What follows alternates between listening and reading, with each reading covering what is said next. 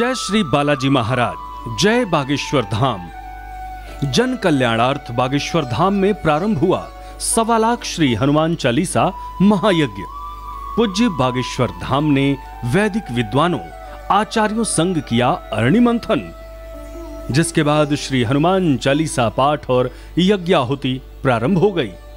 आप देख सकते हैं कि किस प्रकार श्रद्धा भाव और मंत्रोच्चार के द्वारा इस पवित्र कार्य को किया जा रहा है।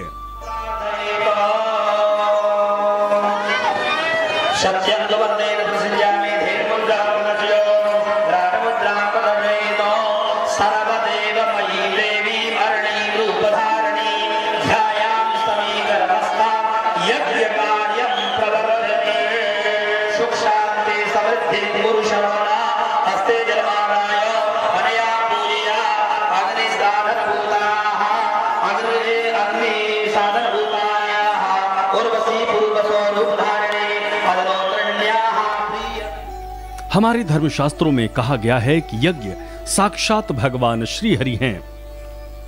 विष्णु धर्मोत्तर पुराण में कहा गया है, यज्ञो ही भगवान विष्णु। वहीं देवी भागवत में वर्णन है कि यज्ञो रूपो ही भगवान। श्रीमद् भागवत में यज्ञ भगवान की महिमा का बखान करते हुए कहा गया है कि भगवान सर्व यज्ञ भुक कहने का भाव है कि भगवान विष्णु यज्ञ यज्ञ स्वरूप और यज्ञ भोगता हैं।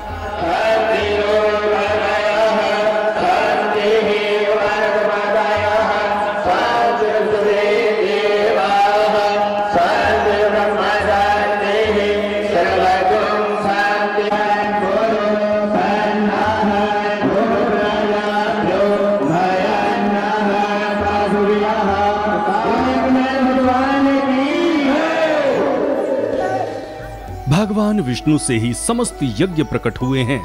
अतः सभी यज्ञ भगवान के ही स्वरूप हैं।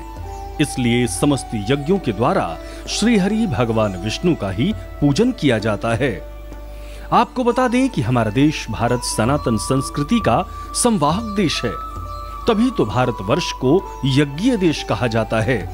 प्राचीन काल से ही भारत में प्रत्येक प्रांत, नगर, ग्राम और प्रत्येक घर में सर्वदा यज्ञ होते थे। कैसी भी आपदा, विपदा हो, संकट हो, यज्ञ करने से सभी का निवारण और समाधान होता है।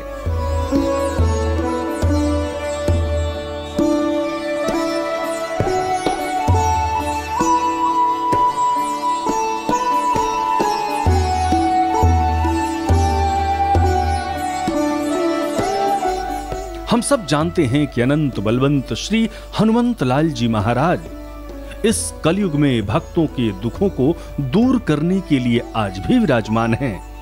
इसी सर्वे भवंत सुखिन की कामना से पूज्य श्री बागेश्वर धाम सरकार की देखरेख में प्रभु कृपा व गुरुजनों के आशीर्वाद से बुंदेलखंड की पावन धरा पर श्री बागेश्वर धाम में सवा लाख श्री हनुमान चालीसा का भव्य आयोजन चल रहा है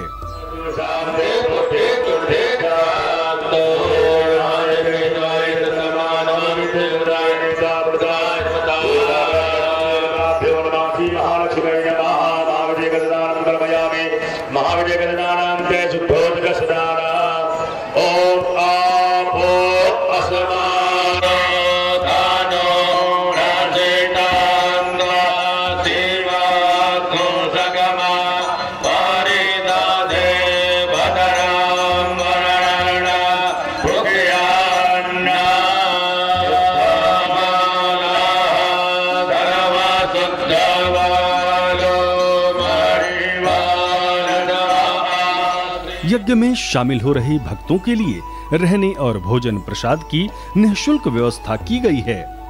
आइए यज्ञ भगवान की महिमा का गुणगान करते हुए हम भी अपने जीवन को धन्य बनाएँ और सनातन संस्कृति के उत्थान में एक कदम पूज्य श्री बागेश्वर धाम सरकार के साथ आगे बढ़ाएँ।